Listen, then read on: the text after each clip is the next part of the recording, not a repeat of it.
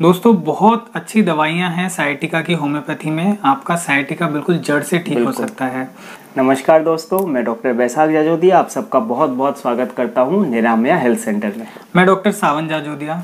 दोस्तों आज के इस वीडियो में हम एक बहुत ही कॉमन प्रॉब्लम जिसका नाम है साइटिका उसकी होम्योपैथिक दवाइयों के बारे में बताएँगे। यानी होम्योपैथिक मेडिसिन फॉर साइटिका दवाइयों में जाने से पहले हम पहले जानेंगे कि साइटिका क्या है इसके कारण क्या है? किन लोगों को ज़्यादा रिस्क है? और ये कैसे होता है? इसके लक्षण क्या क्या है? बिल्कुल। बहुत ज़रूरी है आपके लिए जानना। तभी आप पूरी तरह से इसको ठीक कर पाएँगे। सबसे पहले हम जानते हैं साइटिका क्या है। ऐसा दर्द जो कमर से होते हुए कूल्हे से होते हुए यानी कूल्हे से होते हुए जांगों के पिछले हिस्से से पाँव के पिछले हिस्से से होते हुए उंगलियों तक जाता है पाँव की उंगलियों तक। ये दर्द साइड से भी जा सकता है यानी कूल्हे के साइड से होते हुए जांगों के साइड से होते हुए पाँव के साइड से होते हुए उंगलियों तक भी जा सकता है। ऐसे पेन को हम साइटिका बोलते हैं। इस पेन के साथ आपको जलन भी हो सकती है पाँव के निचले हिस्से में।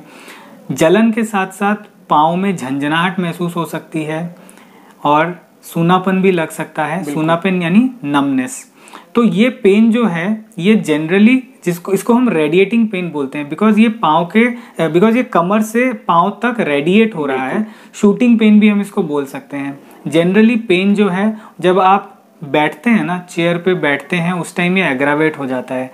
और सामने जब आप झुकते हैं वज़न वगैरह उठाते हैं तब ये पेन एग्रावेट होता है। और पीछे की तरफ़ बेंड करने से बैक बेंड करने से ये आराम मिलता है इस पेन रिलीफ मिलता है।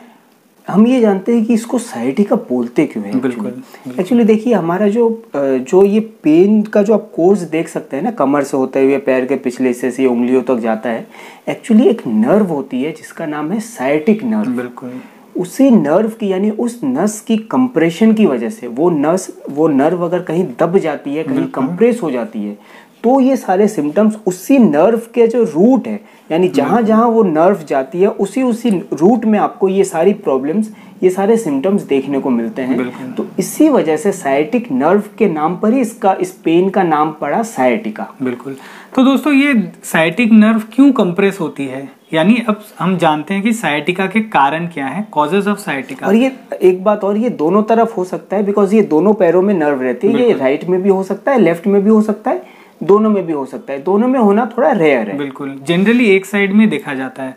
सबसे पहला कारण है साइटिका का डिस्क बल्ज या slip disc herniated disc generally जब एमआरआई होता है ना एमआरआई में देखा जाता है कि L4, L5 या L5, S1 जंक्शन में डिस्क बल्ज हो गया है डिस्क स्लिप हो गया है डिस्क प्रोट्रूड हो गया है।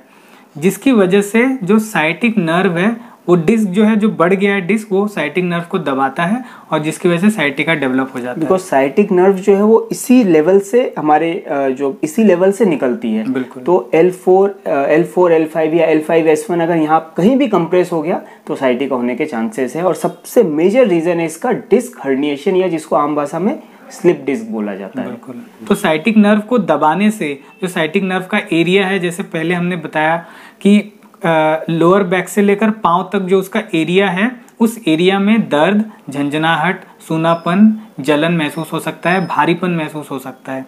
अच्छा दूसरा रीजन है लंबार कैनाल स्टिनोसिस यानी जहाँ से साइटिका और जहाँ से साइटिक नर्व का ओरिजिन होता है, जो स्पाइनल कॉर्ड है, जो स्पाइनल कैनाल है, वहाँ पे अगर कंप्रेशन हो जाए तो उसको हम बोलते हैं लंबार कैनाल स्टीनोसिस यानी कहीं भी अगर साइटिक नर्व कंप्रेस हो रही है तो सिम्टम्स पूरे नर्व में ही दिखाई देंगे। बिल्कुल। इसके बाद है degenerative disc disorder degeneration disc अगर डीजेनरेट हो जाए जो जनरली एज बढ़ने के साथ साथ होती है हम आफ्टर 40, 45 या 50 इयर्स के बाद इसको देखते हैं। डिस्क का जो जेल है वो सूखने लगता है जिसकी वजह से फिर साइटिका डेवलप हो सकता है। स्पॉन्डाइलोलिस्थेसिस यानी एक हड्डी जब दूसरे हड्डी के ऊपर चढ़ जाती है खास करके अगर L4, L5, L4 के ऊपर चढ़ जाए तो हम ये प्रॉब्लम देखते हैं जो जनरली चोट वगैरह लगने के बाद हो सकती है या अगर आपका पॉस्चर अच्छा नहीं है तो भी हो सकता है। साथ ही साथ अगर ये प्रॉब्लम जो है साइटिका प्रेगनेंसी के टाइम पर भी देखी जाती है। प्रेगनेंसी के टाइम पर बॉडी का वेट बढ़ता है कई चीज़ें बॉडी में बढ़ती है उस वजह से ये कई बार प्रेगनेंसी में भी देखा जाता है। तो प्रेगनेंसी में अगर आपको है तो घबराने की कोई बात नहीं है। प्रेगनेंसी जैसे ही आपकी डिलीवरी हो जाएगी बॉडी फिर से नॉर्मल शेप में आएगी आपका साइटिका भी मोस्ट प्रोबली चला जाएगा। बिल्कुल। साथ ही साथ ओबेसिटी यानी जिनको मोटापा है उनको भी साइटिका बहुत लोगों को देखी जाती है। बिल्कुल। क्योंकि जितना प्रेशर सामने है ना उतना ही प्रेशर पीछे ट्रांसफ़र होता है। तो बहुत ज़्यादा लोड पड़ता है और वो डिस्क वहाँ पे स्लिप हो जाता है। अब हम ये जानते हैं कि कौन लोग साइटिका के ज़्यादा रिस्क पे यानी किनको साइटिका होने के चांसेस ज़्यादा हैं? बिल्कुल। जैसा हमने बताया इसके कारण जो हैं स्लिप डिस्क ये जो मेजर रीजन है तो आप ये समझिए कि स्लिप डिस्क का मेजर कारण क्या है? जो लोग ज़्यादा टाइम तक एक ही पोजीशन में रहते हैं यानी जिनका ऑफ़िस वर्क है बहुत ज़्यादा देर तक वो बैठे रहते हैं ऑफ़िस पे बिना रेस्ट लिए काम करते रहते हैं या जो ड्राइवर वगैरह हैं जो बहुत लंबे टाइम तक ड्राइविंग करते हैं चाहे वो टू व्हीलर हो या फोर व्हीलर हो या ट्रक ड्राइवर्स हो जो बहुत लंबे टाइम टाइम तक ड्राइविंग करते हैं बिना रेस्ट लिए तो उनके कमर में जो झटके लगते रहते हैं या जो वहाँ पे डिस्क उनकी जो दबती रहती है उसी वजह से बिकॉज़ क्या होता है कि जब आप बैठे हैं ना ऑफ़िस में हो या कहीं पे भी आप बैठे हैं हम लोग जनरली सामने की तरफ़ झुक के बैठते हैं। कमर जो है वो बेंड रहता है। अगर आप स्ट्रेट बैठे तो आपको ये प्रॉब्लम नहीं होगा। लेकिन बिकॉज़ सामने की तरफ़ झुकते हैं तो पीछे सामने जैसे ही आप झुकते हैं तो पीछे की तरफ़ वो डिस्क बल्ज हो जाता है। बिल्कुल, और, और ये- वहाँ पे वो कंप्रेशन होता है। और ये बहुत लंबे टाइम तक चलता रहता है। इस वजह से वो धीरे धीरे डिस्क बल्ज हो जाता है स्लिप डिस्क हो जाता है और वो जाके नर्व को पिंच करता है और साइटिका डेवलप हो जाता है। तो हमारा यहाँ पे एक टिप रहेगा कि जो लोग भी ज़्यादा देर बैठते हैं ना एक तो आप एवरी हाफ़ एन आवर आप रेस्ट लीजिए। बिल्कुल। आ, उठ के थोड़ा सा चल लीजिए। दूसरी बात है बैक को एक्सटेंड कीजिए। पीछे की तरफ़ थोड़ा सा बैक को एक्सटेंड कीजिए। तो सामने की तरफ़ जो आप बेंड करते हैं वो काउंटर बैलेंस हो जाएगा। बिल्कुल। ये बहुत इंपॉर्टेंट है। तो ये सबसे ज़्यादा जिनको रिस्क है ये दो लोगों को जो ज़्यादा बैठ के काम करते हैं और जो बहुत ज़्यादा देर तक ड्राइविंग करते हैं बिना रेस्ट बिल्कुल। खास करके जो ऑफ़िस वर्कर्स हैं या लॉयर्स हैं टीचर्स हैं जो स्पेशली घर पे ट्यूशंस वगैरह लेते हैं है ना? ऐसे लोग ज़्यादा रिस्क पे रहते हैं। इसके बाद अगर वेट लिफ्टिंग का आपका काम है आप कोई ऐसा काम करते हैं जहाँ पे आपको वज़न उठाना पड़ता हो रेगुलरली या जो वेट लिफ्टर्स हैं कई बार क्या होता है, वो गलत तरीके से वज़न उठा लेते हैं। तो अचानक अगर आपने गलत तरीके से वज़न उठा लिया तो भी ये प्रॉब्लम हो सकती है। अचानक वेट उठाने से मुझे एक, इनसे एक मूवी मैंने देखी थी अक्षय कुमार की। उसमें उन्होंने अंडरटेकर को उठाया था। तो उसके बाद उनको स्लिप डिस्क हो गया था एक्चुअली तो कभी भी आप अगर बहुत ज़्यादा वेट सडनली उठा लेना तो लोड कहाँ पे जाता है? बैक पे जाता है और वो डिस्क बल्ज हो जाता है।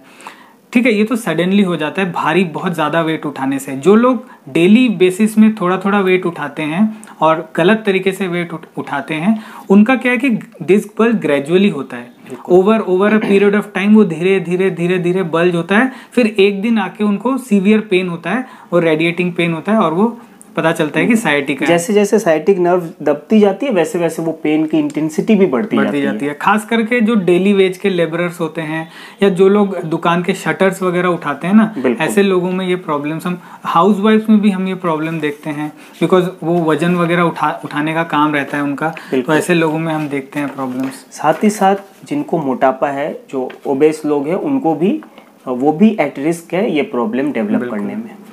दोस्तों अब हम जानते हैं कि साइटिका की होम्योपैथिक मेडिसिन कौन कौन सी है। ये जो भी मेडिसिन हम बताएँगे ये दोस्तों बहुत ही इफ़ेक्टिव है। हम क्लिनिक में इनको रेगुलरली यूज़ करते हैं और बहुत मार्वेलस इनके रिजल्ट्स मिले हैं। तो हम चाहते हैं कि हम ये आपसे भी शेयर करें। सबसे पहली मेडिसिन है कोलोसिंथ थर्टी थर्टी पोटेंसी ये जो मेडिसिन है ये लेफ़्ट साइडेड साइटिका जिनको है यानी जिनको बाएँ पैर में तकलीफ़ है बाएँ पैर में साइटिका है उनको ये मेडिसिन लेनी है। इसका जो सिम्टम है एकदम एग्जैक्ट वही सिम्टम है जो साइटिका में देखा जाता है। यानी कमर में दर्द रेड होता है और वो पैर के पीछे की तरफ़ से होते हुए उंगलियों में जाता है लेफ़्ट साइड में। तो अगर आपको लेफ़्ट साइड में साइटिका है तो कोलोसिन थर्टी आपको दिन में दो बार सुबह और शाम को खाली पेट में लेनी है दो दो बूंदे। नेक्स्ट मेडिसिन है हमारी मैगफॉस मैग्नीशियम फॉस्फोरिकम 200 पोटेंसी में। ये मेडिसिन उनको लेनी है जिनको राइट साइडेड साइटिका है। यानी अगर आपको साइटिका राइट साइड में है तो आपको कोलोसिंथ नहीं लेनी, आपको मैगफॉस 200 पोटेंसी में लेनी है। सुबह और शाम को दो दो बूंदे खाली पेट में। दोस्तों साइटिका की थर्ड मेडिसिन है rhus tox rhus tox 200 potency में लेनी है बहुत ही इफ़ेक्टिव मेडिसिन है साइटिका की खास करके ऐसे लोग जिनको sciatica because of weight lifting because of some sports injury है ना? इसकी वजह से साइटिका हो जाता है। तो इसमें सिम्टम क्या रहता है? जब आप एक जगह पर बैठते हैं और बैठने के बाद जब आप उठते हैं ना तब आपको सीवियर पेन रहता है जिसको हम पेन ऑन फ़र्स्ट मूवमेंट बोलते हैं। ऐसा ही पेन तब भी होता है जब आप रात को सोने के बाद जब उठते हैं और जब आप उठ के चलते हैं चलने से फिर पेन आपका रिलीफ हो जाता है। यानी पेन जो है वो बेटर हो जाता है विथ वॉकिंग विथ मोशन और रेस्ट जब आप कर रहे हैं तो आपका पेन एग्रावेट होता है। और इंटेंसिटी पेन की बहुत ज़्यादा होती है ऑन फ़र्स्ट मूवमेंट जब आप उठते हैं। तो ये रस्टॉक्स का टिपिकल सिम्टम है। ऐसा अगर आपको सिम्टम है तो आपको मैकफॉस राइट साइडेड और कोलोसिंथ लेफ़्ट साइडेड रेमेडी के साथ रस्टॉक्स को कंबाइन यानी अगर आपको रस्टक्स के सिम्टम है तो आपको रस्टक्स लेना है प्लस जिस भी साइड आपको साइटिका है बिल्कुल। उस साइड की मेडिसिन आपको साथ में लेनी है। रस्टॉक्स आपको 200 पावर में दो बूंद करके सुबह और शाम लेनी है। आ, दूसरी दवाई के साथ 10 मिनट का गैप होना चाहिए। इसके बाद हमारी नेक्स्ट मेडिसिन है नेफेलियम थर्टी पोटेंसी में। अगर आपको साइटिका के साथ नमनेस है यानी सूनापन है पाँव में तो सूनापन अगर आपको है तो आपको हो सकता है पाँव में स्ट्रेंथ भी फील आ, कम फील हो रहा हो सेंसेशन कम फील हो रहे हो तो आपको नेफेलियम ऐड कर देना है आ, बाकी दोनों मेडिसिन के साथ। ये मेडिसिन आपको थर्टी पावर में दिन में दो बार सुबह और शाम आप खाने के बाद इसको ले लीजिए। दो बूंद जो है वो डायरेक्टली आपको जीप के ऊपर लेनी है। जो भी दवाई हमने बताई वो डायरेक्टली ओवर टंग लेनी है जीप के ऊपर डायरेक्टली दो मेडिसिन हम आपको और बता रहे हैं। ये मेडिसिन आपको साइटिका में तभी ऐड करनी है जब आपको साइटिका अगर इंजरी की वजह से आपको हुई है। यानी आप कहीं गिर गए या फिसल गए आपको चोट लग गई या कहीं ठोकर लग गई उसके बाद अगर आपको साइटिका डेवलप हुआ है तो आपको दो मेडिसिन और ऐड करनी है। इनका नाम है आर्निका और hypericum arnica montana 200 and hypericum 200 ये दोनों मेडिसिन दो दो बूंदे सुबह और शाम को आपको बाकी दवाइयों के साथ लेनी है लेकिन तभी लेनी है जब आपको साइटिका डेवलप हुआ है इंजरी की वजह से या चोट लगने की वजह से। बिल्कुल। और दोस्तों दो तीन बातों का और ध्यान रखिए। जैसा हमने आपको बताया पॉस्चर बहुत इंपॉर्टेंट है। ज़्यादा देर एक ही टाइम पे एक ही प्लेस पे बैठे मत रहिए। बीच बीच में रेस्ट लेते रहिए। बैक एक्सटेंशन एक्सरसाइज बहुत इफ़ेक्टिव है साइटिका के लिए। तो जैसे भुजंगासन हो गया या पीछे की तरफ़ बेंड करने वाले एक्सरसाइज फिजियोथेरेपी बहुत इंपॉर्टेंट है ज़रूर से करवाइए। हमारे यहाँ जो भी पेशेंट्स आते हैं अलॉन्ग विथ होम्योपैथी हम फिजियोथेरेपी ज़रूर से रिकमेंड करते हैं।